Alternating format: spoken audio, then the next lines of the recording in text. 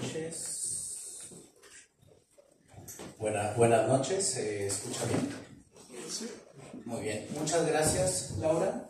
Eh, mi nombre es Alejandro y antes de comenzar eh, lo que les quiero compartir con respecto a este libro, con respecto al proyecto editorial y sobre todo con respecto a la autora, eh, quisiera agradecer a la Casa de Francia y a la Embajada de Francia justamente por la recepción y por el espacio, sobre todo al programa de apoyo y a la publicación Alfonso Reyes, a Laura Bocanegra, a Matthew Boyce eh, al IFAL, al Institut Français.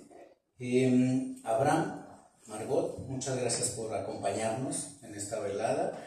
Y a ustedes por acompañarnos en esta tarde de miércoles, les agradezco mucho. Em, yo lo que voy a compartir con ustedes son algunas reflexiones eh, en torno a esta publicación. Voy a dejar que la psicoanalista, el filósofo, este, empiecen a debatir y ver de qué trata este libro. Pero me parece importante hacer un agradecimiento, digamos, puntual con respecto a este programa de apoyo de la publicación, eh, porque vivimos, me parece, tiempos en los que como editoriales independientes estamos en crisis. Quizás siempre estamos en crisis como independientes, pero en realidad es un tiempo muy difícil para el giro editorial. Eh, y sobre todo para las humanidades. Me parece que las humanidades también están pasando un momento de crisis, de lo cual, pues bueno, esta combinación de armar una editorial independiente que se dedique a la cuestión eh, de las humanidades, pues no, no, no, viene a bien.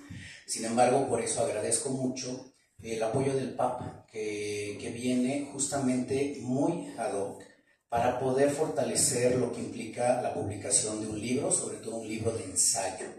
Entonces, en ese sentido, me parece importante resaltar eh, este apoyo que hacen. ¿Por qué? Porque me parece que hoy en día apoyar a las editoriales independientes, apoyar a las humanidades, eh, sí me parece como un gran acto de resistencia a estos momentos de crisis que, vivimos. Eh, aunado a eso, también considero que estamos viviendo otro momento de crisis que tiene que ver con la lectura. Es decir, eh, esta lectura, estaba viendo las, las, cifras que sacó el INEGI, en, que fue en abril, este, hay un artículo en varios eh, periódicos, pero sobre todo, por ejemplo, en El País, mencionaban como el año pasado, tres de cada diez mexicanos no han leído un libro en absoluto. Aunque sea algo que estemos muy acostumbrados que sea en este país, hubo una cifra que a mí se me alarmó mucho y es la disminución considerable de la lectura que ha sucedido, pero en una, digamos, en un rubro de gente de 60 para arriba. Es decir, usualmente estamos muy, muy habituados a que quizá los jóvenes ya no leen, y a lo cual no estoy tan de acuerdo. Más bien se está viendo como una transmutación entre dejan los libros, dejan las revistas y hoy en día son más la lectura de foros, la lectura de blogs, que no obstante sigue siendo lectura. Sin embargo, sí me cautivó esta cifra de ver cómo una generación que no nació con Internet cada vez empieza a dejar de leer en ese sentido. Y se puede leer cualquier cosa, el periódico, la revista, el journal, el, el libro, lo que sea.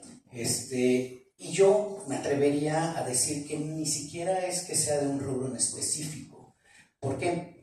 Les, comparto como un poco una anécdota que, que, vivimos, este, mi esposa y unos amigos queridos, en donde estábamos debatiendo de que cada vez más eh, nos cuesta trabajo leer.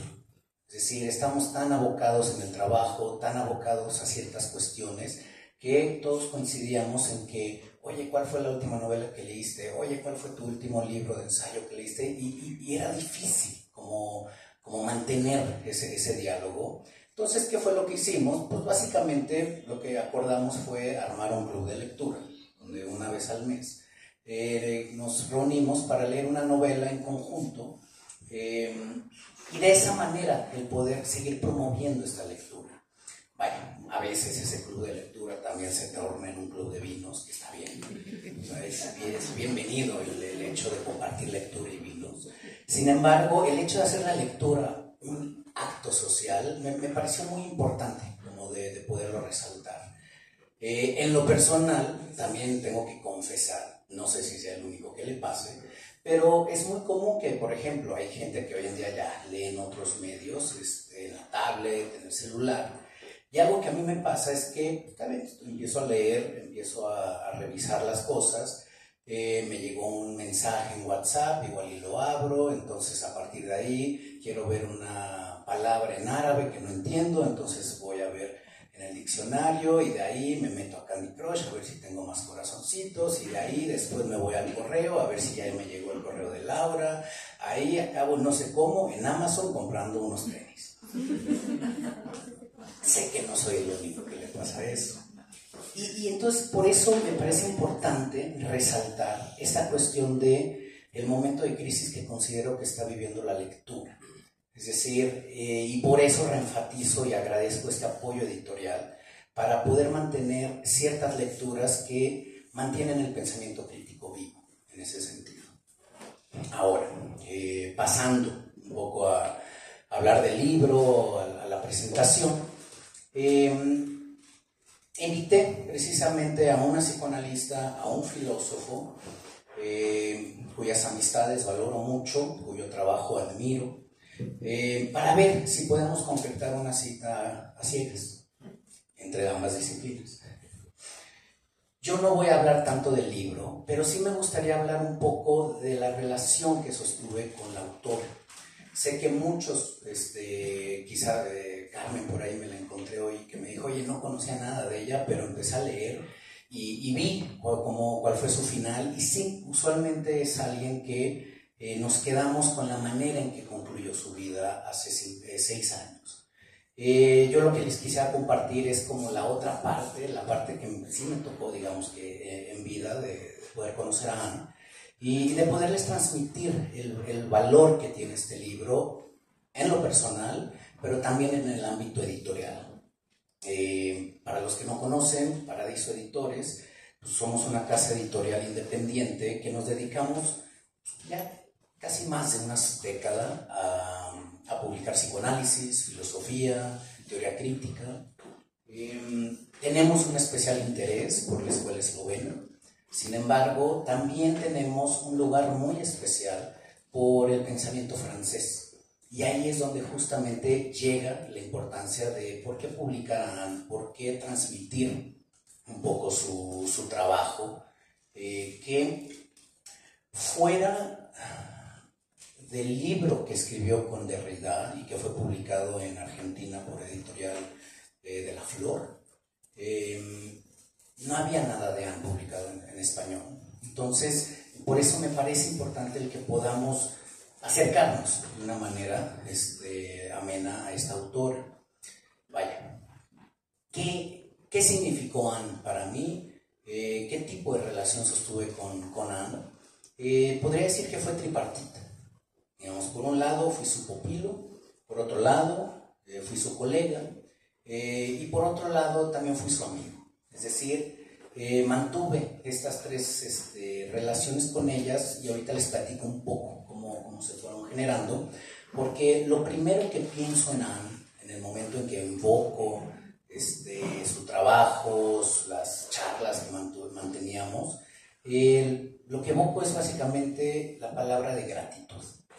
Es decir, le debo mucho al pensamiento de Anne Fomantel, eh, sobre todo por la manera en que me supo transmitir su pasión por el psicoanálisis, su pasión por la filosofía y creo, habrá que ahorita escuchar a Abraham y a, Margot, pero creo que eso está muy claro en, el libro y cada, en cada libro de, de, ella. Entonces, vaya, ¿cuál fue mi relación de pupilo con ella en, este sentido? Antes eh, de conocerla personalmente, en el 2008 yo me encontraba buscando ahí en Amazon a ver qué lecturas encontraba, y ya conocemos este algoritmo, que si compramos algo y después nos dice, bueno, si te gustó esto, quizá también te guste esto, y así, así, bueno, así es como llegué, atrapado por este algoritmo, a una lectura de alguien que no conocía. En el 2008 no sabía quién era Andy Fomantel, lo único que vi fue Blind Date, Sex and Philosophy, eh, y me cautivó el libro. Entonces lo, lo pedí, lo, leí y inmediatamente quedé cautivado. Es decir, fue una lectura que nunca había en ese entonces como mantenido esta vigencia de poder poner psicoanálisis, filosofía a dialogar en un ámbito contemporáneo. Entonces, en ese sentido, sabía, me había enterado que eh, Andy Fomantel iba a dictar un seminario en el doctorado que estaba haciendo en Suiza. Entonces inmediatamente me moví, dije, le llamé a John, le dije, oye, hay manera de poder conseguir el correo, tal. Me dijo, mira, aquí está. Le escribí a Andy Fomantel y para mi sorpresa me respondió. Entonces en ese momento empezamos una correspondencia epistolar, un poco diciéndole, oye, voy a tomar tu seminario. Y me dice, sí, sí, sí, hablemos, veamos, este, no, no hay prisa. Eh, llegamos, me acuerdo que en ese entonces también, este, en ese año en Suiza había eh, a Gael García. Y él, y él me decía, ¿cómo? O sea, viniste desde México solo a tomar el seminario de Andy Fumantel. Este, vaya, o sea, qué, qué, qué, esfuerzo, qué trabajo. Pero te voy a decir algo, eh, es una mujer que vale la pena que hagas eso. ¿Por qué? Porque es impresionante y además dice, y guapísimo. Entonces, ya, eh, llegó el primer día del seminario, todos nuestros compañeros quedamos cautivados. Más allá de la belleza, más allá del saber, quedamos cautivados sobre todo por la calidez de su transmisión. Es decir, esta dulzura con la cual ella emanaba las preguntas y vanaba como la discusión, nos dio una sensación de alguien que, que no se posiciona necesariamente en un saber digamos, definitivo, sino más bien alguien que está abierta al cuestionamiento, que está abierta a saber, bueno, de qué se trata esta pregunta que me están haciendo. Entonces, es, esa, primera interacción, wow, no, no, nos maravilló, esa calidez, esa dulzura. Eh, la verdad es que ahorita no recuerdo muy bien de qué trató ese seminario, estábamos todos maravillados, pero Recuerdo en una ocasión estábamos afuera fumando en un intermedio y se acerca Anne y dice, eh, Alejandro, y dice, soy Andy Fumantel, ya habíamos eh, intercambiado correos. Entonces le digo, sí, eh, mucho gusto, comemos, me gustaría platicar contigo. Entonces, bueno, ese, ese momento lo guardo muy, muy, muy preciado porque uno, pues estoy entre grupo de amigos, entonces a mí me eligieron para ir a comer con Ana. Entonces ya se imaginarán lo pavo real que estuve ese día. Pero se me acabó muy pronto. ¿Por qué? Porque llegamos a platicar y Ana era muy clara. Dice, me interesa lo que tus preguntas, me interesa lo que estás tratando de trabajar entre psicoanálisis y filosofía. Eh, estuvimos charlando, estuvimos comiendo dos, tres veces y a lo cual ella también me tenía una propuesta y me decía, eh, está bien, trabajemos tus preguntas, veamos de qué trata esto que estás queriendo elaborar en la filosofía, en el psicoanálisis, pero a mí me gustaría también poder publicar en tu editorial. Y ahí es donde ella, justamente ella fue la que promocionó el que pudiéramos publicar Elogio del Riesgo. Elogio del Riesgo me parece un libro muy puntual en su trabajo. Eh, es un libro que, vaya, es, estas cosas de la vida que quizá realmente solamente a, eh, a posteriori podemos dar muestra, pero me parece que Elogio del Riesgo, no diría que es su obra más importante, pero sí es su obra más ejemplar en el sentido que me parece una escritura no solamente como reflexión filosófica, sino en realidad me parece una postura tanto ética como política. Tan es así que podemos ver justamente como todos los tabloides después del fallecimiento que, que tuvo, todos justamente señalaban a esta cuestión, a esta vocación que ella tenía en su filosofía. Practicar con la palabra y ser congruente con lo que filosofaba. Entonces, me acuerdo que cuando me, me dio, digamos, esta noticia, me encantó, le dije, adelante, vamos a hacer eh, la traducción, y lo logramos, ese lo publicamos en 2015. Terminó el seminario, terminó mi estancia en el doctorado y ahí es donde justamente empezamos ya una eh, correspondencia más de colegas. Es decir, había ocasiones donde yo como psicoanalista le mandaba inquietudes sobre este, algún caso, ella desde su escucha me decía alguna u otra cosa. Eh, por el otro lado, compartíamos lecturas. Entonces empezamos a tener una eh, correspondencia de colegas en donde, vaya, más que presentarme aquí como alguien eh, docto o experto en Mantel, realmente me planteo siempre como alguien que admiro su lectura. Es decir, em, pueden ver que hay muchos títulos en su trayectoria, fue una autora muy prolífica, quizá en el 97 es cuando toma esta notoriedad, porque justamente durante el, seminario que tiene con este Derrida, ella invita a Derrida a tratar esta, eh, el planteamiento sobre la hospitalidad. Es decir, le, hace la pregunta, ¿cómo pensamos la hospitalidad en el siglo XX, siglo XXI?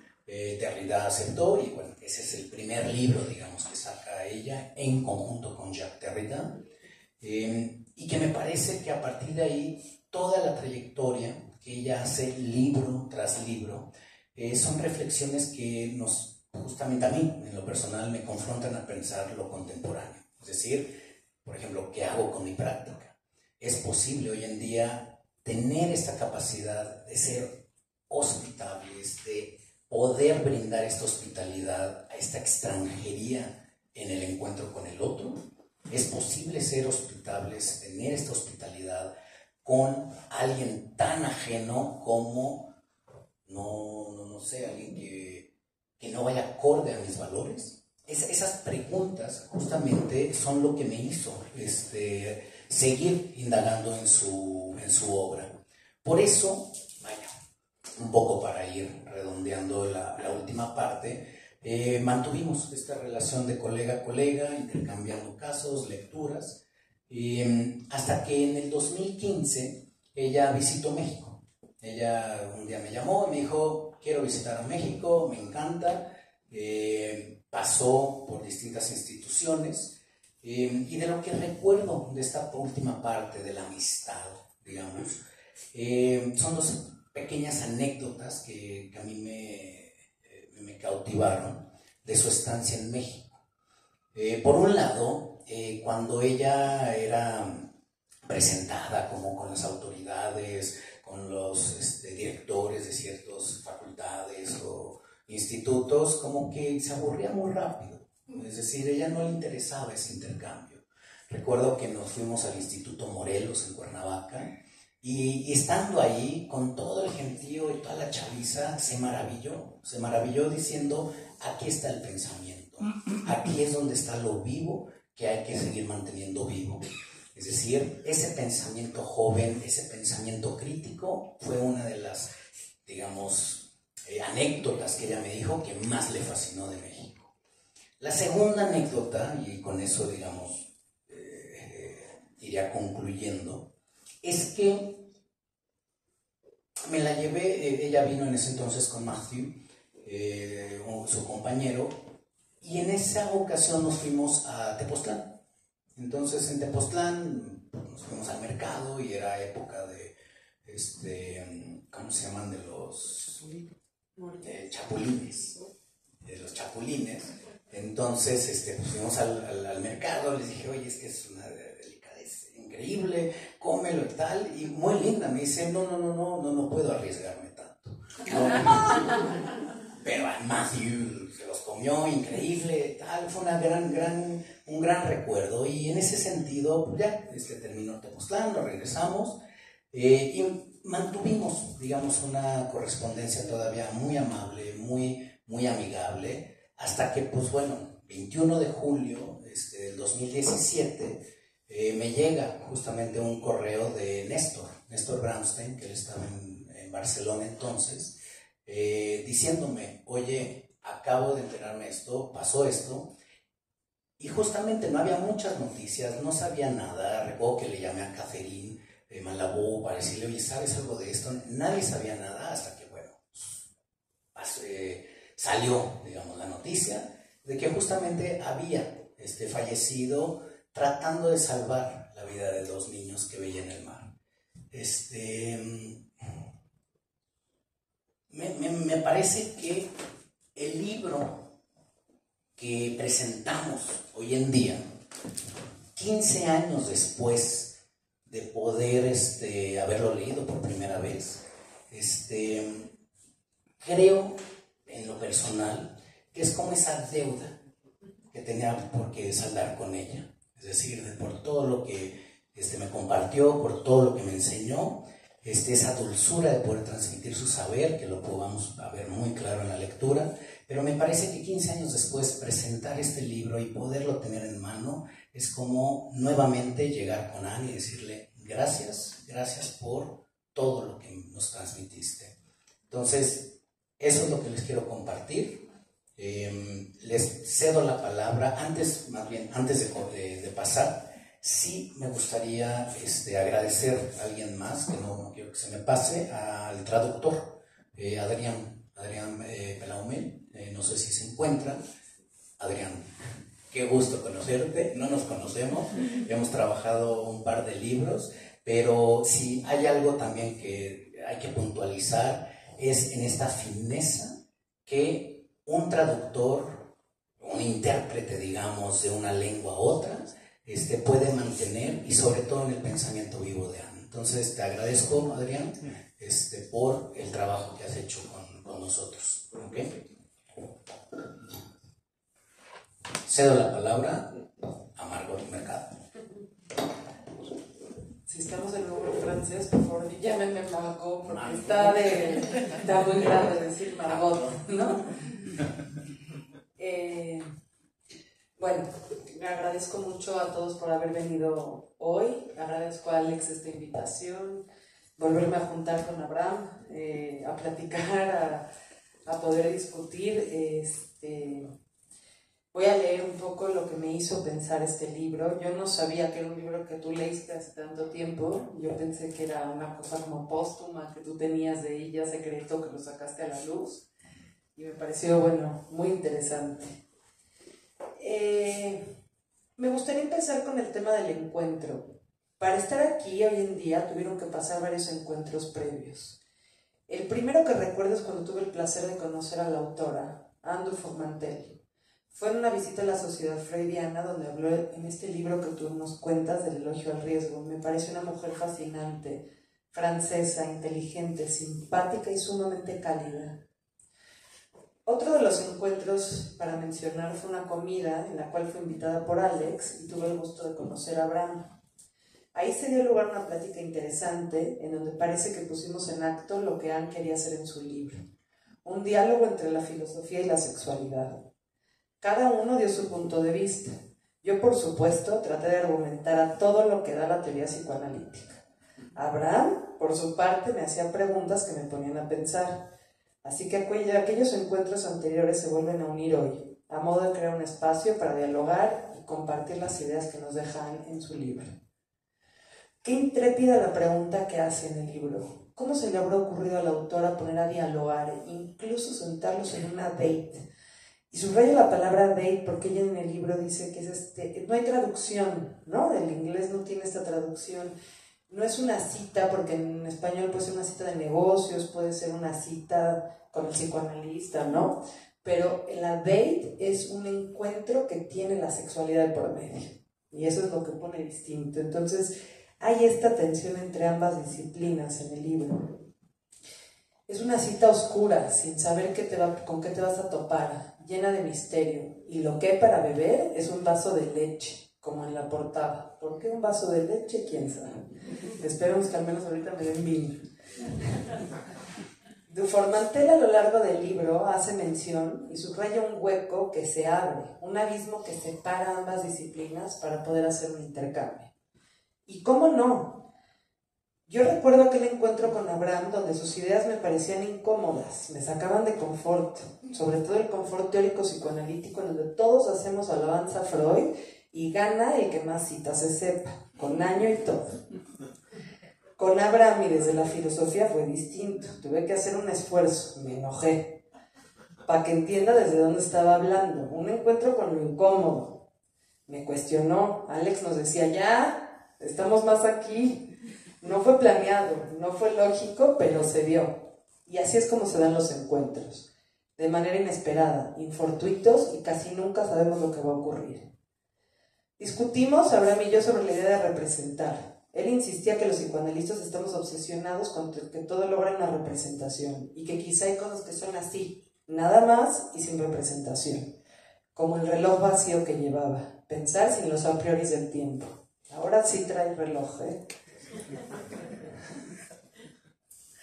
Yo por mi parte, argumentando que a pesar de que no se logra una representación completa de las cosas, habrá que hacer el intento, porque así es como funciona el aparato psíquico, al menos el freudiano. El hombre no puede ir más allá de una representación metafórica del mundo. En el libro Citas Ciegas, Ana hace un recorrido sobre lo que ha dicho la filosofía sobre el sexo. Curiosamente lo que encuentra es que se calla, se silencia. La filosofía habla de los placeres de la carne como aquello que se debe dominar. El mundo de las ideas debe de poder ganar al mundo de los placeres. Ese es lo virtuoso. La filosofía puede resultar una obsesión en la pregunta constante por saber, por descubrir la verdad. Es ahí donde está su erotismo. En estos rastreos sobre la verdad es donde la filosofía encuentra la fascinación, la obsesión y el placer en pensar, en cuestionar, en destruir y reconstruir conceptos. Pero siguiendo a Anne, ¿cómo se puede dar este proceso sin la intervención del cuerpo? Es ahí donde Anne instiga, molesta e incomoda, en pensar a la filosofía como un acto, como un placer y totalmente mezclada con el cuerpo, Así que la filosofía y el sexo, por ende, se hacen en el cuerpo, ahí donde el cuerpo reacciona, donde se ve afectado, sometido, cambiado y modificado. Ahí es donde tienen lugar ambas disciplinas. Ahí vamos con Freud, todavía no lo he dejado. Si Freud habló del yo, si Freud habló del yo como un concepto de superficie, es porque el yo es una instancia abierta, en acto y moviéndose. Una superficie nunca cerrada y siempre móvil que va siguiendo una suerte de simultaneidad. Una superficie que necesita por excelencia un cuerpo que da sostén. Y es por ahí que se puede pensar la filosofía como un acto del cuerpo. Siguiendo Spinoza, que Anne lo cita bastante, dice, el objeto del cual la mente es, el cuerpo siempre en acto. La mente es una idea. Si ese cuerpo se descompone, la idea desaparece. Nadie sabe lo que puede una idea, nadie sabe lo que puede un cuerpo, dice Anne, porque es ahí en el cuerpo donde se encuentran y se desencuentran, tanto la filosofía como el sexo. No todos los encuentros son agradables ni planeados. El estar ahí, arrojados al mundo, nos coloca en una posición de desvalimiento que nunca deja de ser por completo. En aquellos encuentros suceden choques abruptos donde se juega el amor, el odio y las pasiones de la carne. Aquel famoso golpe de cuerpo que se siente ante lo inesperado, ante lo ominoso, ante el miedo y ante lo ajeno, son experiencias que comparten y dan la posibilidad del encuentro. El sexo, como nos dice el Formantel, no es el cuerpo, es el olvido del cuerpo, es la carne. El sexo por excelencia es el exceso. Todo encuentro lleva en sí la posibilidad de fusión, de amor, de querer tragar, besar, morder al otro como intento de borrar la alteridad y lo ajeno. La filosofía y el sexo tienen ambos la terrible condición de intentar encontrar una verdad con el fin de borrar lo ajeno y lo, lo alterno.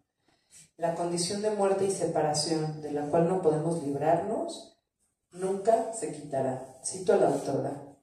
La filosofía del sexo es la relación con el otro, el mundo, la alteridad, que implica que no lo abarcas en su totalidad, la parte ajena del otro que señala mi propia ajenidad. Quizás en el sexo está claro, todos hemos vivido aquellos encuentros que marcan una fusión y rápidamente nos desencantamos, nos desencontramos, pero en la filosofía, ¿cómo se da? Quizá me sea el indicado para hablarnos más. Lo que puedo decir por mi experiencia es que el acto de pensar cuestionar y reflexionar es sí y solo sí a partir del cuerpo. Recuerdo claramente mis primeras lecturas sobre el proyecto de psicología de Freud. El golpe del cuerpo se venía en la lectura de cada enunciado. La primera vez que me cuestioné sobre la oscuridad del cuerpo, tuve noches de insomnio que me hicieron pensar y hacer una pausa en el tiempo para reflexionar sobre mis entrañas Así que no es cualquier cosa. Estudiar una idea y realmente enamorarte perdidamente de ella se da un encuentro con la misma, un encuentro que muchas veces nos descoloca y nos arroja terrenos bastante oscuros. Para hablar de esto, quisiera introducir un concepto fundamental para el psicoanálisis. Y es aquí donde me parece que se pueden poner ahí a dialogar la sexualidad, como lo plantean, y la filosofía. La neurosis de transferencia. Ese objeto de estudio del psicoanálisis, la clínica, el contacto con el otro, es donde se puede generar, abrir y permear aquellas repeticiones que quedaron mudas y que se manifiestan por vía de los síntomas. En la neurosis de transferencia se juegan las pasiones del paciente dirigidas hacia el analista. Se colocan aquellos deseos que quedaron vedados y reprimidos. Se le pide al otro que se haga cargo de mí. Y lo que el analista regresa, en el mejor de los casos, es una palmada de esperanza que permita ver que pueda hacerse cargo de su cuerpo, de su ajenidad. En esa petición de amor, donde la transferencia es de las suyas, se juega el cuerpo y se dan los intercambios. Este concepto me parece una forma astuta de Freud, donde hace referencia al cuerpo como infinito de Spinoza. No existe una idea sin cuerpo, no existe un análisis que no toque las entrañas. Aquel acto de tocar al otro sin necesidad de usar la mano, sin necesidad de que el sexo como acto carnal intervenga, pero sí la sexualidad. La, sexual la sexualidad infantil que abre las zonas erógenas y dan posibilidad que el deseo aparezca en sus múltiples disfraces. Como dice Dufour-Mantel, Freud es el resultado de una historia de la filosofía, ya que logra desenmascarar la locura histérica o entender la lógica del deseo. Pone acento en el asunto de la sexualidad. Abre aquello que se había callado. Dice Sócrates con la retórica y Freud con la neurosis de transferencia. Por último, me quedo con esta frase de Nietzsche que cita en su libro. Aparte ahí, quisiera hacer una pausa antes del final. Hay una parte final del libro, no se los quisiera arruinar, pero la parte epistolar, donde ella toca el tema sobre el intercambio entre Nietzsche, Polri y Lua Andrés Salomé, es un triángulo amoroso fascinante, así, de literatura deliciosa, de entender este intercambio intelectual y de cuerpo, y muy afortunado como ella puede ejemplificar esta idea de la filosofía y cómo se mete la sexualidad ahí, cómo no puede dejarse, ¿no? y lo hace a partir de un intercambio epistolar que para mí lo más rico que yo he leído son estas cartas, ¿no? Desde las de Freud a sus hijos, este, Freud con Fliss, es ahí en ese intercambio del otro donde surge la teoría. Bueno, me voy a despedir con esta cita que dice así de Nietzsche. Toda la gran civilización, y la cultura literaria se desarrollan en torno a los intereses sexuales. Uniendo esta cita con la idea que subraya Dufour-Mantel a lo largo del libro, deja claro que el sexo es amor, lo único que me queda agregar es que si el sexo es amor, la vida, lo vivo, es amor, eros en la vida. Gracias.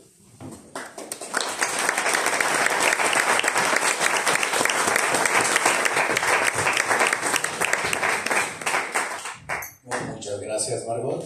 Me, haces pensar muchas, muchos cuestionamientos, sobre todo un, un, valor que me parece fundamental y conociéndote es rescatar esta figura de Freud. Y más que rescatarla en el sentido de levantar, digamos, al viejo, de traer como la cita, como muy empolvado, eh, lo que me gusta que siempre haces con respecto a esta lectura, y bueno, ahora con Anne, es esta cuestión de traer a un Freud vigente, porque eso es algo que siempre este, Anne siempre mantenía, y eso se ve en la lectura.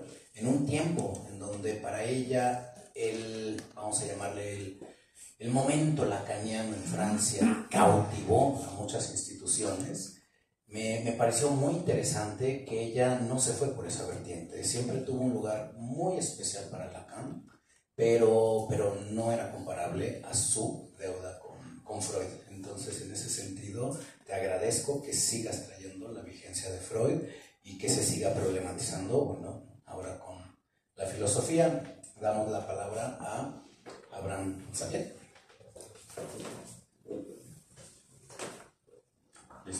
Bueno, muchas gracias a todos por estar acá, muchas gracias por hacerme recordar esa discusión, ¿no? Una frustración muy sabrosa, ¿no? Al mismo tiempo de estar comiendo. Eh, muchas gracias ah, por organizar este evento. O sea, las gracias parecen nada más como dice porque hay que decirlo, pero son sinceras. Eh, Alejandro, Margot, por, por estar acá y agradecerles en, en particular a ustedes, eh, porque este teatro no tiene sentido si no están ustedes, ¿no? Si solo estuviéramos nosotros, nada más sería una mesa cualquiera, pero ustedes hacen que esto tenga una realidad a otro nivel. Y cuando venía para acá pensaba manejando, pasando ¿no? en el lugar con tantos árboles y luego el edificio muy bonito y la biblioteca, es como un gran gesto de civilización que estemos aquí hablando de filosofía, me parece tan valioso, ¿no? Me pone muy feliz. Y en un lugar que es muy especial, que es una biblioteca, que me decía una amiga hace no mucho que es de los pocos objetos que hay en el mundo que son claramente humanos, ¿no? Ningún otro animal se ha puesto a almacenar código, ponerlo en papel y dejarlo ahí accesible para que otros llegamos y podamos ver estas líneas en blanco sobre negro y de pronto aprender cosas de lo que alguien dijo hace muchísimo tiempo. Entonces todo eso me da mucho gusto y les agradezco mucho estar como como público estar escuchando y que hay incluso gente parada para que hablemos de filosofía y sexo me parece demasiado bueno, ¿no? Estoy muy contento de estar acá con ustedes. Eh, cuando estaba anunciándole a algunos amigos que iba a hacer y me dijeron, bueno, ¿y de qué va a ser? Les dije, bueno, es una charla sobre sexo y filosofía. Un amigo que se llama Luis Miguel me dijo, ah, dos cosas, dos de mis cosas favoritas en el mundo, la conjunción y y sexo. Así voy a empezar, o parece un excelente chiste, ¿no? Eh, y que lo, lo voy a apuntar, entonces ya está apuntado. Eh, y tratando de hacerle justicia a la filosofía, me parece que una actividad filosófica muy importante es la distinción. Decir que hace que dos cosas sean similares y que hace que otras dos cosas no sean lo mismo, ¿no? Que hace a todo lo material material, que hace a todo el alma alma, que hace al alma y al cuerpo diferentes, etc. Entonces, un poco como lo voy a organizar hoy es preguntándonos qué hace al sexo y a la filosofía iguales y diferentes. Y eh, la narrativa que les quiero proponer para ir pensando y un poco ir imaginando es, yo estaba pensando hace no tanto tiempo en esta clase de conversaciones, decía, bueno, con la boca hacemos muchas cosas, ¿no? Y con la boca hacemos filosofía y hacemos sexo. Entonces en eso se parecen, pero son diferentes en que las usamos para cosas muy distintas, ¿no? Obviamente en este momento estamos usando la boca de una manera muy filosófica. Eh, y eso tiene que ver entonces con una diferencia que me parece importante entre el sexo y la filosofía, que es el de la cercanía. Eh, la boca en el sexo, y siguiendo mucho de lo que dice Andrew Furmantel, tiene que ver con el tacto, tiene que ver con el gusto, mientras que la boca en la filosofía tiene que ver con la expresión, ¿no? Y tanto se puede alejar la filosofía que cuando la lengua la volvemos escrito, la podemos guardar en código, y queda ahí, tenemos una conversación muy íntima con alguien que ya no existe de la misma manera que nosotros en este plano. ¿no? Es parte de lo increíble que puede hacer la filosofía, es dejar esas ideas en una forma de código que nos es accesible y de pronto estamos entrando en un diálogo con, con un fantasma, ¿no? que es, es, impresionante en un lugar tan bonito además como este.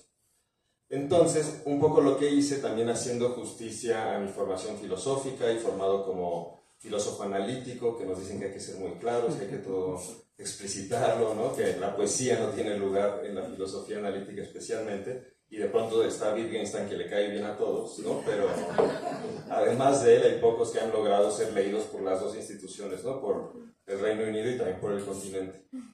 Em, entonces eh, hice un poco eh, una forma de organización de lo que está en el libro. El libro se los recomiendo muchísimo, a mí me, entusiasmó, me generó ganas de pensar en otras cosas de manera diferente, me dieron ganas de escribir otras cosas. Creo que también es un acto de valentía de escribir sobre temas que no se escriben necesariamente ni tan fácilmente en la filosofía. Entonces lo que voy a hacer son igual una organización tripartita. ¿no? no puedo negar mi parroquia, entonces si tuviera un PowerPoint, diría como, hay tres pedazos. El primer pedazo les voy a hablar de diferencias entre el sexo y la filosofía. En la segunda parte les voy a hablar de cosas similares entre el sexo y la filosofía. Y en la tercera parte son temas varios. ¿no? Son citas que no pude meter en ninguna de las dos.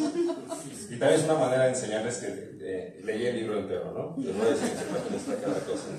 Entonces, primera diferencia eh, es que mientras que el sexo es exceso, que es una cita muy bonita de la página 84, la filosofía es una forma de mesura. Les voy a leer una pequeña cita de ella y la voy a tratar de leer lento y también que los haga imaginar y, y, espero con mucha ansia también poder dialogar con ustedes sobre qué piensan, ¿no? qué, qué les ha evocado y cómo ustedes han aguantado todo este tiempo sin hablar y uno puede estar aquí contando sus cosas. Eh, es esto, dice, el sexo debe mantenerse en secreto para ser tolerado. Si ha de reinar sobre nuestros apetitos, que sea en secreto. Filosofar es permanecer del lado de la razón, de lo justo, de la mesura. Por su parte, el sexo es asunto de necesidad, de dependencia, de aflicción. Nos atrae una y otra vez. El sexo es violencia, incluso cuando nos da placer. Es el exceso por excelencia. ¿No? Me parece una excelente frase, es una frase de meme ¿no? de Andrew Furmantel, eh, que el sexo es exceso por excelencia. Y eso ya empieza a marcar algunas de las diferencias que típicamente podemos entender entre uno y el otro. Por la misma tradición que ha ocurrido, tal vez desde el cristianismo, incluso desde el ascetismo, desde los griegos, parece que hay una disociación importante que se ha dado en la academia entre eros y filosofía.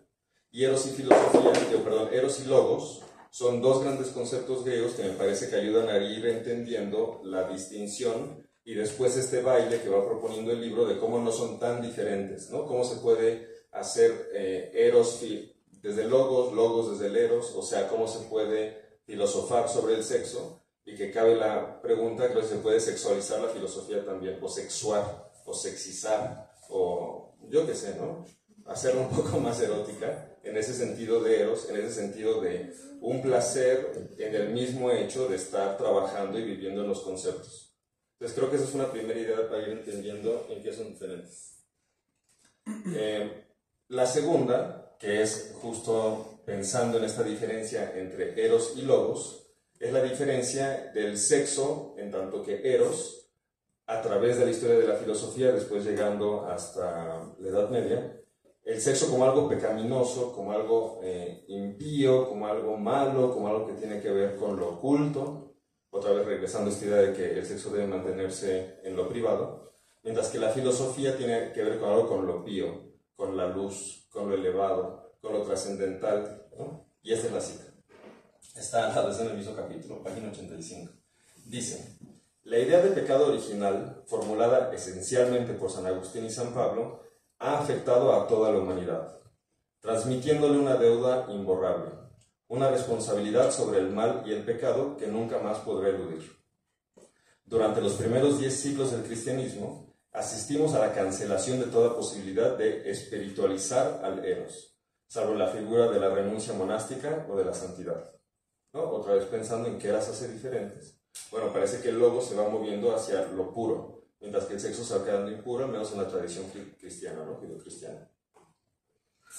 Y una tercera, eh, y que de alguna manera creo que también tiene que ver con este gran afán filosófico de unificar, o sea, ¿qué hace la filosofía? En gran medida separa diferentes cosas, pero también unifica.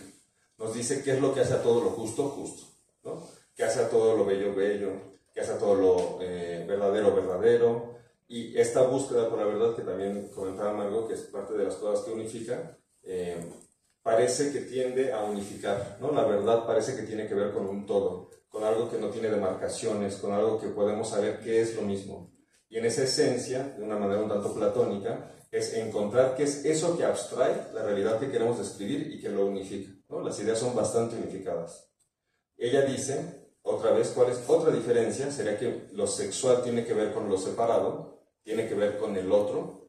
Eh, me, hace pensar en otra cita que tenía sobre Lacan y la idea de, sexo, que el sexo no es, siempre es una relación con el otro, siempre es una no unificación. Eh, y ahora vamos a ver cómo esto, aunque parece diferente, también luego los asemeja. Entonces, mientras que lo sexual tiene que ver con lo separado, con dos, la filosofía tiene que ver con lo unificado, con lo uno. Eh, me acordé de un chiste eh, les voy a contar antes de leer la cita. A ver si me acuerdo, ¿no? Va sobre la marcha. Eh, bueno, se los voy a contar como salga. llega un filósofo y, y está un, borracho, ¿no? Está en la calle. Entonces ven que llega el filósofo y el borracho le hace. Y el filósofo le hace. Entonces el borracho le hace. Entonces el filósofo le hace. Entonces el borracho le hace. eso que ha impactado, ¿no? Y llega otra vez con el Ateneo. Dice, ese es un genio. Yo le dije, hay un solo Dios. Y me dijo, no, hay dos. Le dije, no, hay tres. Le dije, no son cuatro. Y me dice, no, todos son uno mismo. Entonces, bueno, imagino más o menos cómo es la otra parte, ¿no? De lo que la gente le está pensando el borracho. Eh, la cita real es la siguiente. Dice, sexus en latín significa separación. Si el sexo separado es porque los sexos son dos, irreduciblemente femenino o masculino. Solo se puede olvidar en ciertas lenguas, como lo recuerda Pascal Quiñar en un texto reciente del 2002, yo, tú, nosotros no tienen identidades sexuales definidas. Creo que es un hecho interesante de pensar en el lenguaje. No hay un yo para femenino, no hay un yo femenino. No hay un tú masculino y un tú femenino. Solo son yo y tú. Y lo mismo en nosotros. Los pronombres, excepto él y ella en singular y plural, pueden pasar de una frase a la otra, del masculino al femenino o en otras lenguas al neutro. Hay algo muy interesante y ahora también que nos volvemos más conscientes de incluso más formas de identidades que tal vez las no binarias, eso no le quita la verdad a lo que dice Furmantel, sino que solo lo complejiza aún más. ¿No? Hay un montón de formas de otredad y el sexo, de alguna manera muy importante, tiene que ver con la atracción hacia algo que no soy yo en una búsqueda tal vez de unificación a la cual nunca podemos llegar. Mientras que la filosofía parece que tiene este impulso muy importante de unificar, de encontrar ideas, de encontrar homogenización. Tanto así que podemos pensar que la filosofía va haciendo estas actividades hasta que lo hace de una manera tan clara que se genera un nuevo nicho de conocimiento. No lo haces tan bien que la filosofía natural se vuelve física, tan bien que la filosofía de la mente se vuelve psicología. Y así, ¿no? Una y otra vez, ¿no? La filosofía tiene estas maneras de, y tratando de encontrar nichos, ¿no? encontrar similitudes. Bueno, esas son las diferencias. Pero creo que lo más interesante y lo más estimulante son las similitudes. Y mientras que parece que estas dos fuerzas están moviéndose entre Eros y Logos, eh, como dos grandes maneras de acercarse a la vida, al mundo, eh, al mismo tiempo, Eros y Logos, nota ella, son dos formas del impulso de la vida. Y eso los unifica, que luego tiene que ver también con la obsesión. Y ella dice, el mito de la supuesta estupidez del sexo ofrece una férrea resistencia. ¿Resistencia a qué? Tal vez a imaginar que Eros y Logos están animados por un mismo impulso de vida, invención y creatividad, al que resiste nuestra pasión compartida por la ignorancia. La pasión por la ignorancia, como sabemos, anima tanto a los más eruditos, engreídos doctores y profesores como a la gente común. Entonces, algo que me parece que ella marca muy bien y que es una idea muy interesante es por qué la filosofía y el sexo no se cruzan tanto. Una manera de ponerlo es la siguiente. La filosofía trata de hablar de todo, trata de que nada se le escape en su intento de captivar, eh, atrapar la realidad. ¿no? Quiere hablar de, lo más íntimo, ¿no? de la metafísica, de qué es lo que constituye a todo lo que es constituido. Sin embargo, lo sexual es algo de lo que no habla, no hay filosofía del sexo. Y cuando hay filosofía del sexo, se, creo que se tiende a hacer una manera bastante puritana sobre preguntas de qué está bien, qué no está bien, cuándo es adecuado, pero hay pocas veces una fenomenología del sexo. Ella logra, me parece, notar que en última instancia, estas dos cosas que han parecido tan separadas tienen algo que las mueve, que es un gran impulso de saber, ¿no? Que tanto en el sexo como una forma de experiencia, como una forma de fenomenología, hay una gran necesidad de saber cómo es el otro y cómo es, el volverse esa unidad, ¿no? A través de la experiencia sexual. Y la filosofía, de una manera también interesante y tal vez un tanto inexplicable, tiene una gran obsesión de impulso de vida por entender el mundo. Entonces las dos no solo son acciones, porque bueno, cualquier cosa que un humano hace es acción, pero eh, tienen una especie de obsesión, ¿no? que es otro de los temas importantes que ella, ella nota. Entonces, esa es página 93. Sexo y filosofía, otra similitud es que eh, ambas son búsquedas por la verdad. La verdad es entendida como, ¿no? Dice ella, el sexo debe encontrarse con lo vivo en ese preciso lugar donde se produce el deseo. y, por tanto, la verdad. En el filo de ese deseo nos encontramos ineludiblemente con la sexualidad.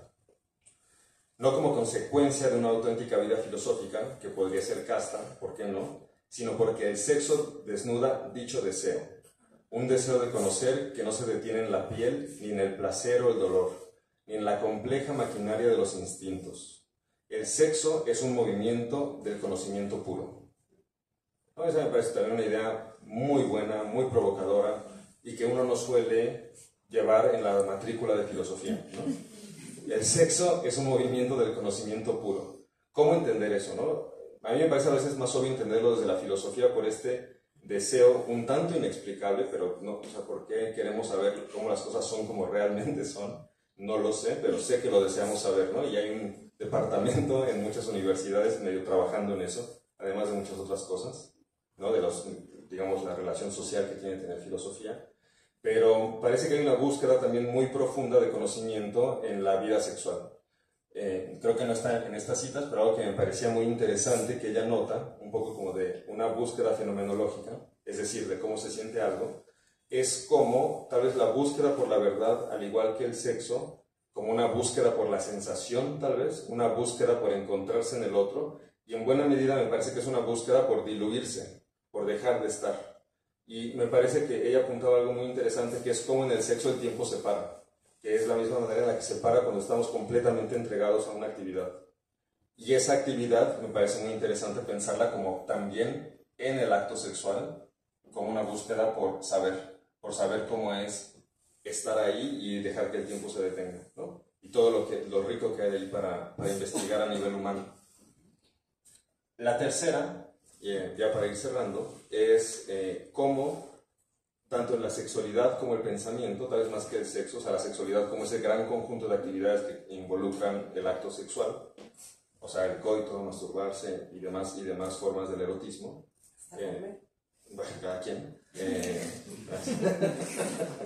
Eh, sí, como, justo como la parte erótica, ¿no? Como la parte de la sensación y sobre todo del concepto del goce, que es un concepto sobre el cual no se piensa tanto en filosofía, eh, por razones que podemos pensar también colectivamente, porque la filosofía tal vez desde una tradición cristiana o antes y después no ha estado muy eh, cercana a esos temas, o al menos ciertos tipos de filosofía. ¿no? Para tampoco pensar que la filosofía que es eh, muy casta es la única, ¿no? ni la principal.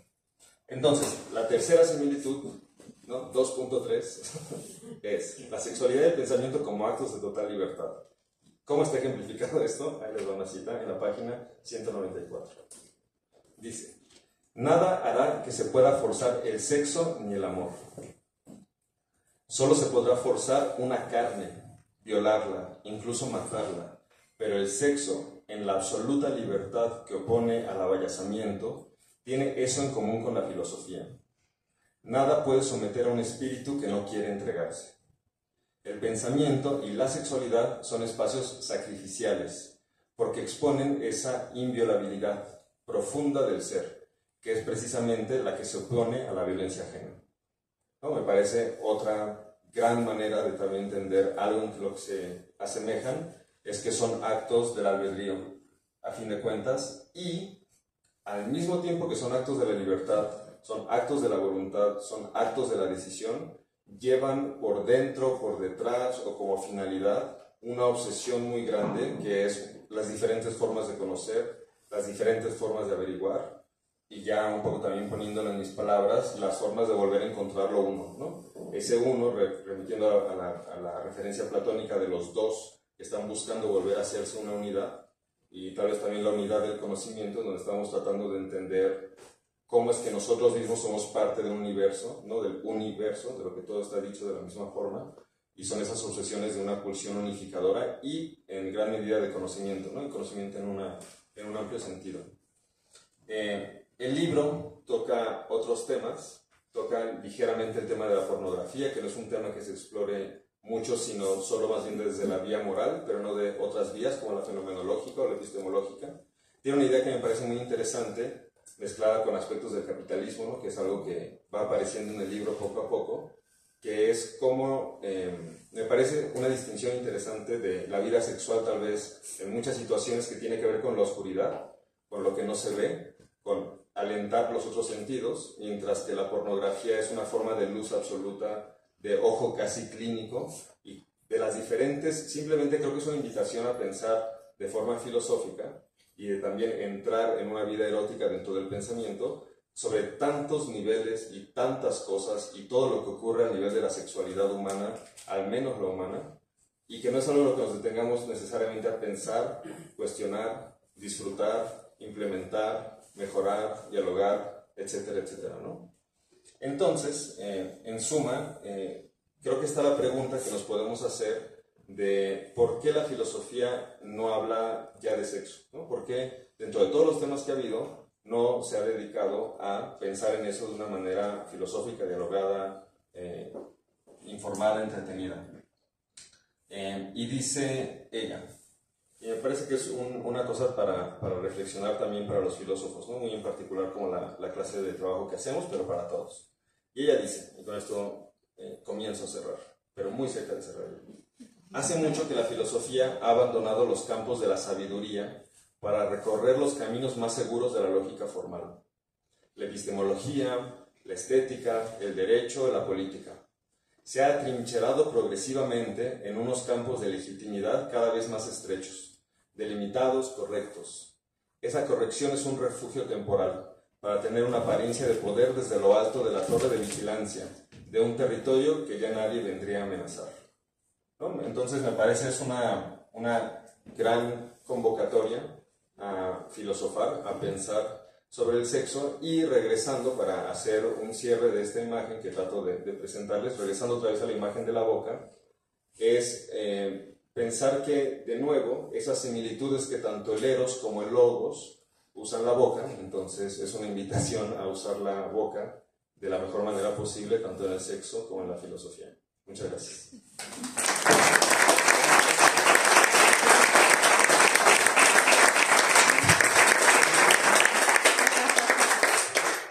Muchas gracias, Abraham. Em, escuchándote me, quedo pensando que el, mejor elogio que se le puede dar a un libro no solo es leerlo, sino el estudiarlo con ese lente crítico compartes. Entonces te agradezco mucho. En otras presentaciones les comparto, me ha tocado que el presentador pues, habla y habla y habla y habla y habla, habla, de todo menos del libro y ya al final solamente dice el índice. Y ya, entonces uno se da cuenta que no, no tiene esa lectura. Entonces, me hace, me hace mucho pensar esta, esta manera muy filosófica, como pueden ver, em, el estilo que tiene Margot, de Margot, eh, desde este lente psicoanalítico, y Abraham, que no hubiéramos traído el PowerPoint, pero muy, muy preciso, y, y lamento haberlos interrumpido en esa esa comida, no voy a hacer eso de nuevo, porque se ve que el diálogo es muy fructífero.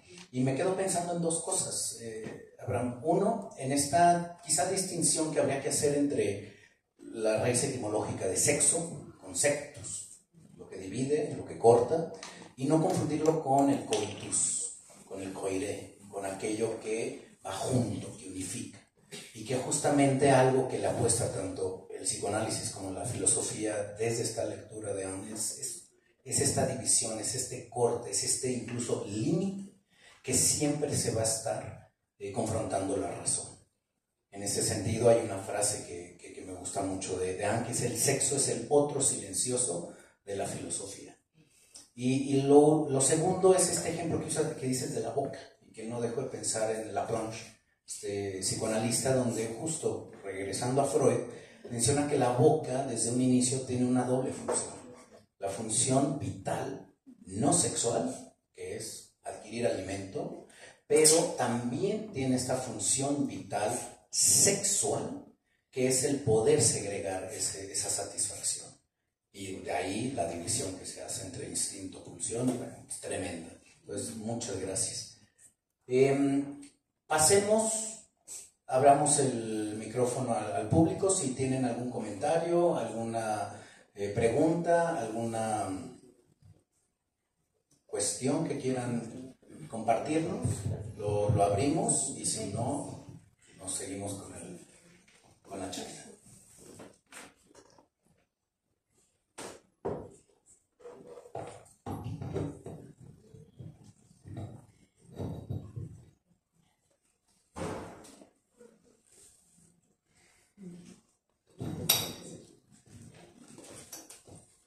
pueden ser uno a la vez.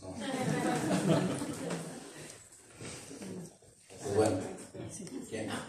Adelante, por favor. Gracias. Eh, leí un poquito la biografía de Anne y que sus padres eh, fueron muy influidos por, influenciados, perdón, Iván Illich y quería saber qué tanto eso eh, jugó un papel en su pensamiento. Gracias. Pero esa yo creo que puedo compartir porque es, es, interesante que lo, lo, que comenta sobre la relación que tienen con Iván Illich. Eh, para los que no conocen, eh, Iván Illich en el momento en que empieza a, a tener que ser tratado por el cáncer que padece, eh, según recuerdo, tiene que radicar en Alemania. Eh, y es una Alemania en el momento en que eh, está dividida, no hay acceso. sin embargo, el servicio de salud, el servicio médico, pues es el que le puede atender en ese entonces.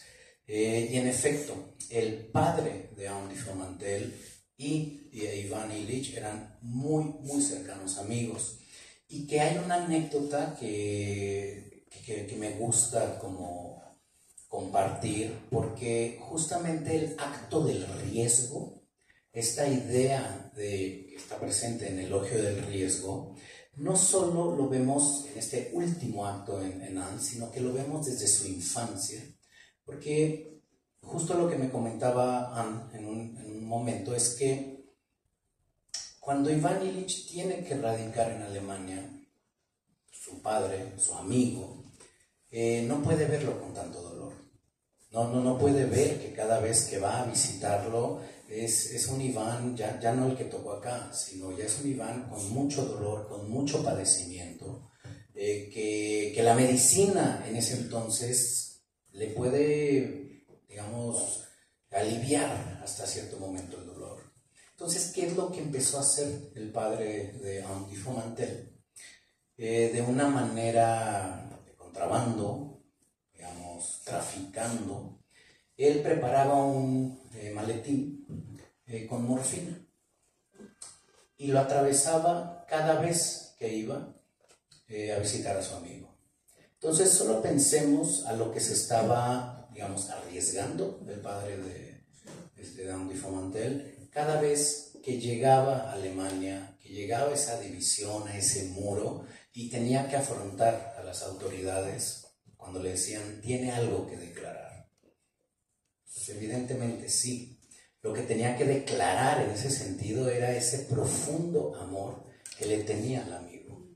Es decir, un acto en donde pone en riesgo su vida, básicamente, pero es con el fin justamente de poderle llevar esta morfina que alivie el, el dolor. Entonces, en ese sentido, desde los padres hay una estrecha relación y en ese acto de riesgo me parece que con Anne se ve muy claro esta idea de no ver el riesgo del lado de la muerte, sino siempre verlo del lado de la vida. Ella en esta frase muy común que se le conoce dice, lo único que hay que arriesgar es la vida. Pues, ¿Qué más da? Pues sí, es lo único que tenemos. Entonces, esa, es, esa me parece, esa figura de Iván Elich es central en, en mucha de su filosofía.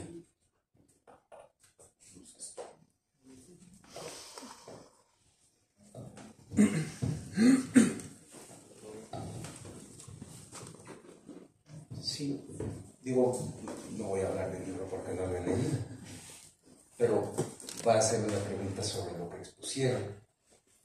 Eh, a mí me cuesta mucho trabajo eh, sostener con seriedad esto de que la filosofía ha hablado poco del sexo. O sea, una cosa es cómo nos han enseñado a leer la filosofía, ¿sí? Y otra cosa es lo que verdaderamente ha hecho la filosofía sobre esos temas, ¿no? Y yo creo, o sea, o más bien preguntaría si no más bien lo que estás proponiendo es justamente una relectura de la historia de la filosofía, tratando de poner el, el acento en ese aspecto, ¿no? Porque, digo, uno se va a un diálogo como el Federo de Platón y, digo, ¿de qué trata? Del eros. Del eros. Y de la conexión de la sexualidad con el eros. Entonces, yo creo que hay que matizar un poco, ¿no? Este, este tipo de afirmaciones, ¿no? Eh, cuando, cuando se dice, la filosofía no habla de la sexualidad, claro que habla de la sexualidad. Lo que sucede es que nos han retirado la atención sobre ese punto. Pero no porque sea un interés ese de la filosofía. Puede ser el interés de la conexión que tiene la filosofía con una política de Estado, lo que ustedes quieran. ¿no? Y creo que en ese, en ese sentido, eh, estas, estas conexiones y diferencias se vuelven mucho más naturales porque siempre han estado ahí. ¿no? O sea, es un poco lo que decía Franco Volpi, que precisamente filosofamos porque el, el sexo ni siquiera resuelve los problemas de la vida, como tampoco lo hace la filosofía. Pero en eso se encuentran, ¿no? En, en esa, en esa tarea de, al menos en esa insatisfacción, hacerla gozosa, ¿no? O, sea, o ese incumplimiento, hacerlo gozoso, para no ver la insatisfacción. Entonces, digo, si pudiéramos discutir un poco esto, ¿no? Porque creo que sí se da una mala impresión de lo que hace la filosofía respecto del sexo si decimos que ¿no? Cuando hay muy claros testimonios de esto, ¿no? Eso es. Gracias. Y creo que hay una pregunta no, por allá. ¿Articulemos un par? Articulemos un par y regresamos. Buenas noches, muchas gracias. Este, con respecto a el libro y lo que se está dando contemporáneamente de regresar a lo multidisciplinario, ¿ustedes creen que este ejercicio de mezclar psicología, filosofía, este, estas cuestiones también, no sé si también en el libro, porque no he tenido la oportunidad de comprarlo ni de leerlo, este, de sexología también, estén siendo un agente coadyuvante en este nuevo auge de de lo interdisciplinario, que si bien se dice que siempre ha existido, con estas cuestiones que vienen desde la revolución industrial, se han sesgado un poquito, es decir, psicólogo únicamente psicología, filósofo únicamente filosofía, sexólogo únicamente sexología. Y estas cuestiones que se mezclan, por llamarlo de cierta forma, se me ocurre, no sé, el ejemplo del doctor Sapien, ¿no? O sea, que tiene una carrera de filosofía, pero que se mete en cuestiones de análisis del dolor, de neurociencias, de cosas así, que se puede este, mezclar en esta cuestión. ¿Y cuán importante ustedes creen que es, de acuerdo a esta perspectiva tan mundana, cotidiana y a la vez tabú, como lo es el sexo, poder mezclar las cuestiones científicas, artísticas y culturales? Para poder llegar a un cambio como sociedad de lo que venimos desarrollando a lo que se está proponiendo contemporáneamente hacer ahora. Se que muy complejo.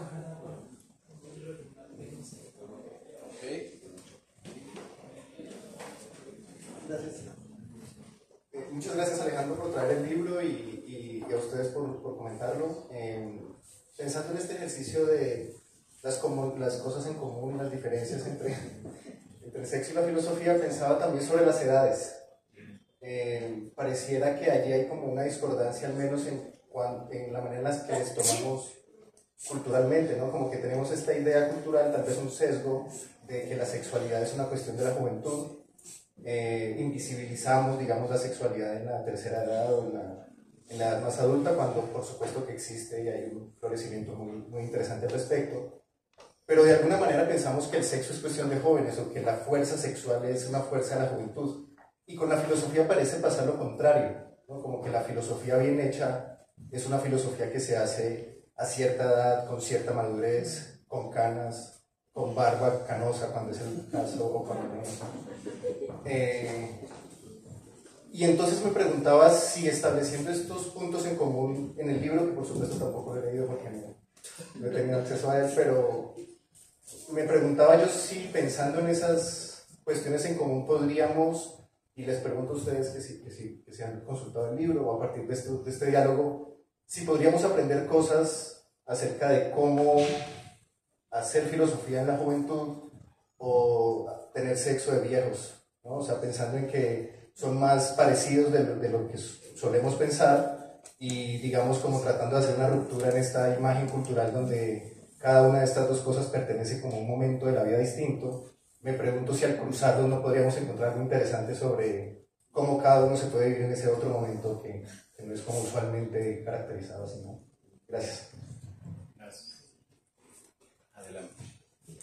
Voy a decir nada más una cosa. Creo que hay una parte que, sí, que me gustaría aclarar. Eh, el concepto de sexualidad en el libro no se refiere al acto sexual coital de unión de genitales. Y esto me parece que cambia toda la lectura.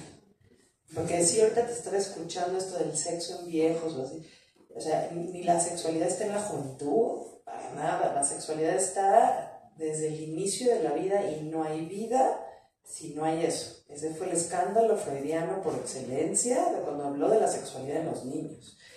No es una referencia coital. Y me parece que si no hacemos ese, esa pequeña aclaración, se puede llevar a, a ciertos desvíos, ¿no? O desvirtuos con respecto a lo coital. A, a, a, mí al menos, no sé, Alex o tú, Abraham, el libro no me hizo referencia al, a la sexualidad en tanto coital, me hizo más referencia a la sexualidad freudiana, a la sexualidad infantil que tiene que ver con las zonas erógenas y el contacto con el mundo y con el otro y es a partir de ahí que se recibe o no el placer. Entonces, es la única aclaración que yo quisiera hacer. Este, ahora, no sé. Bueno, yo no estoy de acuerdo con Marco. Creo que Freud no tiene nada que ver. Eh, ya, esto. No, a mí me parece que algo que. Esto es lo que pienso, que cuando se piensa en sexualidad y no se quiere poner la palabra coito, me parece que es caer en el mismo puritanismo que un poco ella está tratando de hablar y aún así ella tampoco lo hace.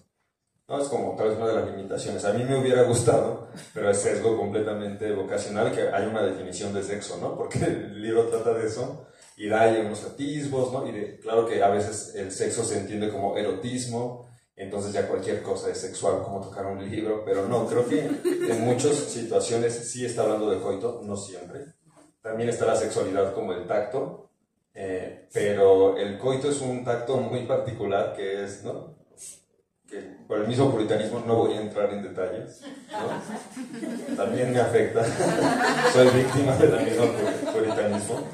Eh, y entonces así, me parece muy interesante estos juegos, ¿no? también como lo de la boca, como un juego más de decir, bueno, ¿y por qué no lo pensamos desde aquí?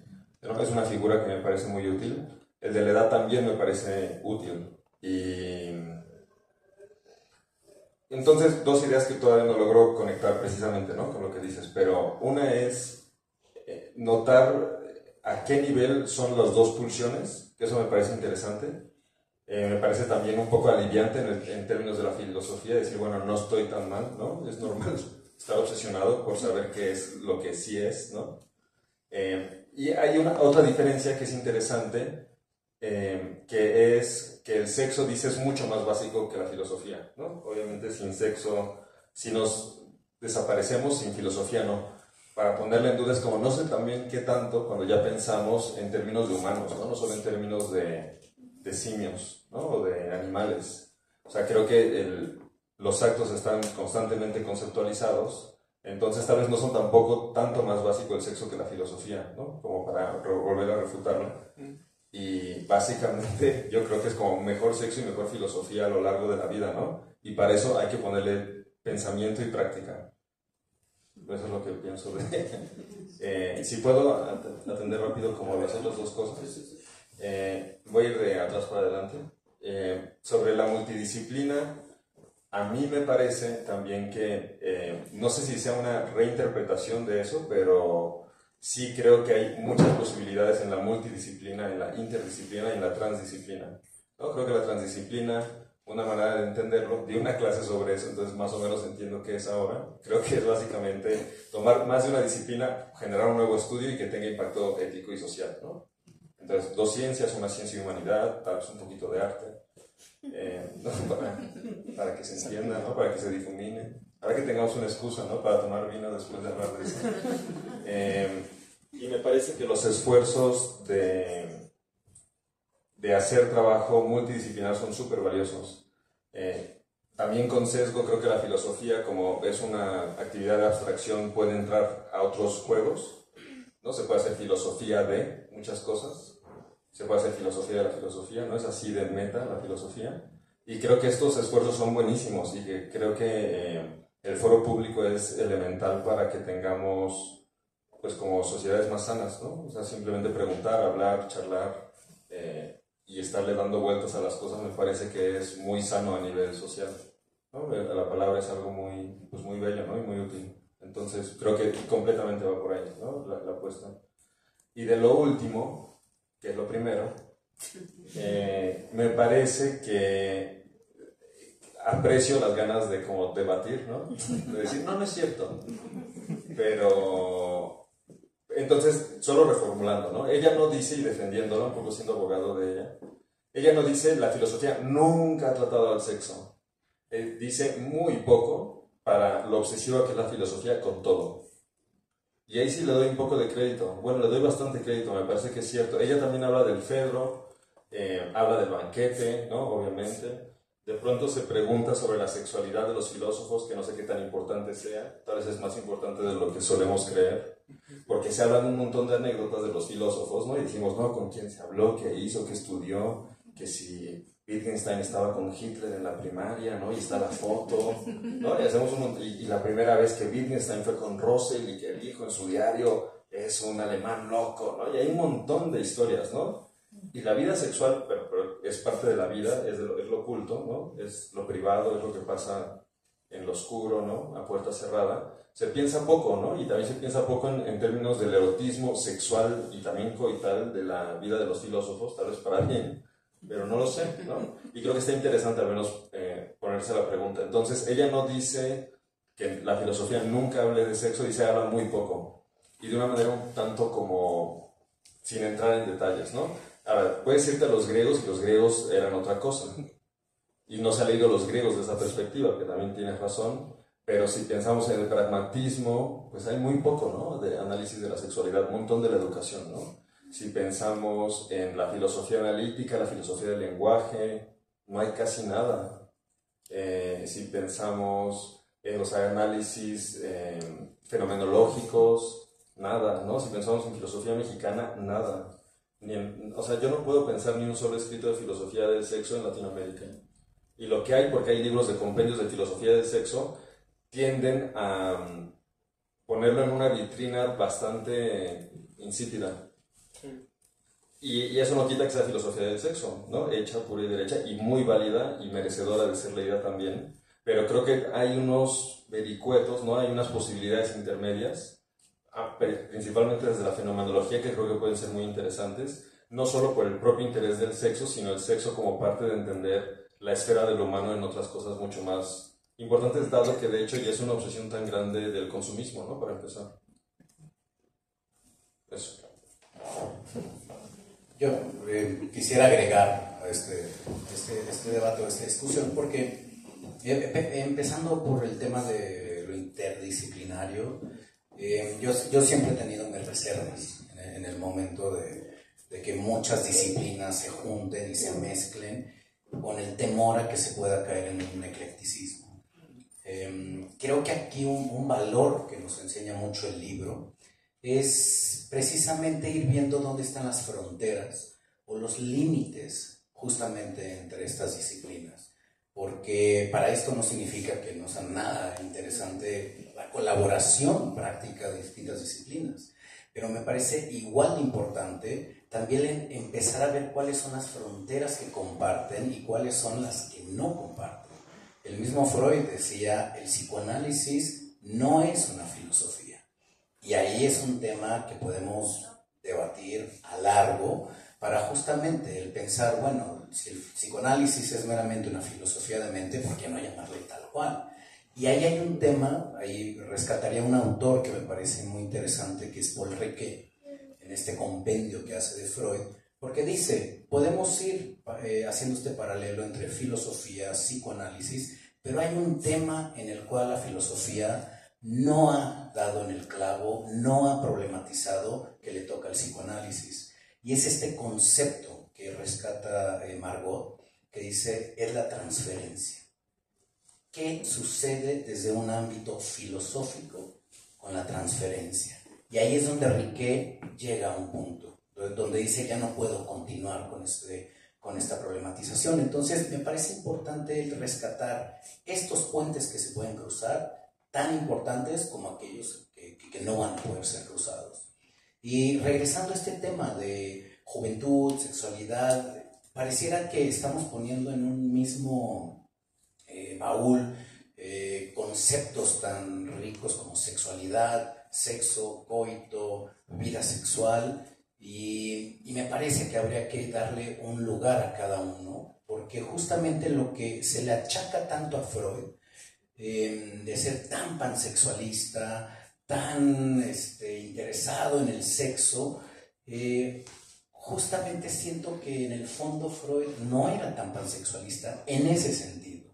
Es decir, el sexo o esta idea del sexual en Freud, o en psicoanálisis mínimo, tiene otro sentido y es más, hasta complejo. Eh, haría un poco más complejo la discusión y creo que hay un tema que no estamos como igual y debatiendo, que también tiene que ver con el deseo. Es decir, ¿qué tanto esta idea del sexo, filosofía, qué tanto esta cuestión de los límites que se pueden cruzar y no, qué tanto también están siendo abordados por el deseo desde el psicoanálisis o desde la filosofía? Que vaya, eso se los dejo. Pero es, es lo que pensaría un poco.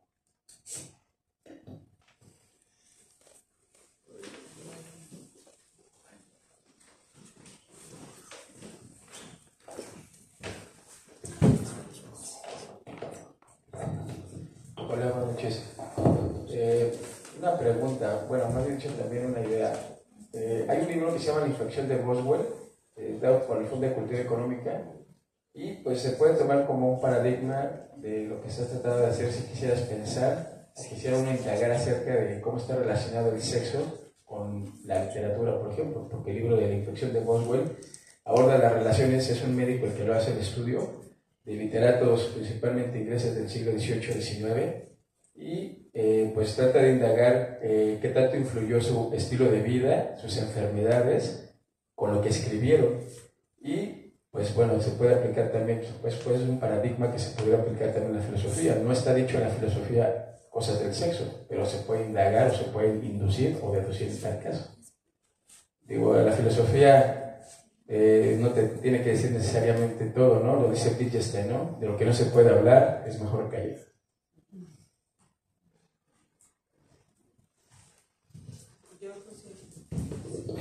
Eh, me hiciste acordarme de la última parte del libro, en donde Anne rescata la literatura y dice que la literatura está ahí, ¿no? También en, en esta es como el tercero implicado en esta date entre la filosofía y la sexualidad.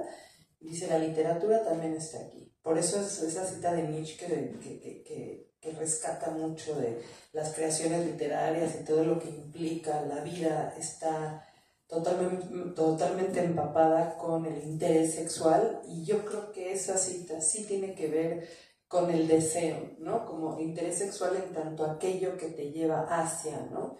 El interés de buscar la vida privada de los autores para ver por qué los llevó a escribir o no tal cosa es es una cosa que da fascinación, ¿no? O sea, cuántas biografías hay de Freud o de, o de Nietzsche, o sea, cuando salen las vidas privadas, y les digo, es algo que viene en el libro, ¿no? Él, ella rescata mucho el intercambio epistolar, que es ahí donde se generan las ideas. Ahí me parece que es un modo más amplio de ver la sexualidad, no como una cosa coital, sino como una cosa de transferencia, de relación con el otro, de investidura hacia. Pero sí menciona mucho la literatura, sobre todo en la posibilidad de, de narrar, ¿no? De narrar este encuentro como un, tercero espectador ahí. Este, bueno, no sé un poco igual porque me, vienen ideas y, vale la pena vez comentarlas. Dos que, que, tengo en mente, ¿no? Una es sobre el deseo, eh, que es algo en donde le puse una energía importante, ¿no? Es un capítulo de mi tesis de doctorado, pensamos mucho en el deseo y se puede abordar de maneras completamente insípidas, muy claras y muy bonitas, ¿no? Que tal vez está en la diferencia entre aproximación de ciertas formas de filosofía del psicoanálisis, esta cierta forma de filosofía que es decir, bueno, es eso y ya. Es muy deflacionista, es como, mira, es eso y ya, ¿no? Porque creo que una pregunta interesante para, para dejar abierta, pero también para cerrar, es, bueno, ¿a qué le estamos llamando sexo? ¿Y a qué le estamos llamando sexualidad? ¿Qué sí es? ¿no? Porque uno puede decir, no, no, no, es eso, pero es mucho más que eso. Bueno, sí, pero ¿qué? ¿no? Muéstranoslo de alguna manera, ¿no? Al menos ya que hemos invocado tanto a Wittgenstein, aunque sea señálamelo, ¿no? Es eso también. Eh, y me parece que no se dice, pero lo genital, lo sensual y lo táctil son parte importante de lo que sí son. No siempre, no necesariamente, pero sí a menudo. ¿no? Respecto del deseo, un poco como una anécdota, también para hablar de estas diferencias entre lo simple y lo complicado, eh, me pasó, una vez estaba tomando una cerveza en, en un bar en Cuernavaca y alguien dijo, ¿qué es el deseo? Y dijo, uy, perfecto, es mi oportunidad de mostrar que tengo un segundo capítulo de mi tesis sobre esto, ¿no? Dije, uy, me voy a lucir. Y, entonces me estaba pensando y dije, bueno, deseo, ¿no? Como que me tocó la palabra en la conversación. Y me acuerdo que dije, deseo creo que es básicamente el impulso a que lo que no sea, sea. A que lo que no es, sea. El impulso a lo que no es, sea. Y estaba muy contento con mi definición lo dije, no, todos van a decir, ah, qué inteligente, eso me impulsa lo que no es, sea, sí, tienes la razón. Y lo que me pasó es que alguien se enojó y me decía, no, eso no puede ser, no, pero es que cómo el deseo va a ser eso. Y le decía, bueno, sí, es que el hambre es una forma de deseo, es deseo de comer. Y me decía, no, no, no, no, no, no, no, el hambre no es deseo. Y decía, ¿cómo no? ¿No? ¿Quieres comer? No hay comida, que comas, ese deseo. Y estaba muy enojado y él se empezó a enojar más. Yo le decía, bueno, ya déjalo, entonces yo iba al baño, regresaba y él seguía enojado. No, es que el deseo es mucho más que eso. Y decía, bueno, ¿qué sí es? Y me decía, no, pero es que es más. Y, y creo que tenía en mente como el deseo sexual o el go, no sé, ¿no? Eh, entonces, bueno, yo sé que quiero escribir un capítulo de algún libro para decir, mira, tengo un capítulo del libro donde trato de explicar pero eso es lo que no sabemos, ¿no? No, no podemos eh, establecer exactamente, el, el, lenguaje es muy escurridizo, pero yo creo que más o menos ponemos, podemos poner de acuerdo sobre qué significan ciertas palabras, ciertos ¿no? cúmulos de sonidos. Em, y la otra pregunta que, que apuntaban allá atrás sobre las biografías, también es nada más una anécdota para acabar con en un signo de interrogación de si vale la pena o no. Pero yo me acuerdo, y otra vez invocando a Wittgenstein, un profesor emérito inglés, ¿no? Tan, importante, me acuerdo que estaba muy enojado contándome que le habían invitado a dar una conferencia a la ENA sobre Wittgenstein. Y dijo, bueno, y dijo, queremos que nos hable sobre la homosexualidad de Wittgenstein. Ese es el tema, ¿no? y yo decía, pero ¿qué tiene que ver? ¿Cómo pueden tener esa idea? ¿Qué cosa tan descabellada? ¿A quién más le importa lo que hizo en su vida personal o no? No sé, ¿no? Eh, dejo la pregunta abierta, ¿no? ¿Qué tan importante es la vida íntima y sexual de alguien respecto de su filosofía? Pues no sé, creo que es buen tema para conversar hoy al rato. Muchas gracias. ¿Alguna otra? ¿Cómo estamos de tiempo, Laura? Justitos. Justitos. última pregunta y bueno, yo quiero primero que nada agradecerles la invitación y decirles que cuando la recibí yo decía, una cita ciega, ¿qué tratará? ¿Qué, qué van a, ¿De qué nos van a hablar? ¿De qué habla, habrá escrito Anne en esto? ¿Por qué Alex convoca para esta nueva edición? Y ahí yo creo que también es donde surge y lo están poniendo, yo creo que algo que tiene que ver con el placer, con la sensualidad, con el deseo, es este encuentro.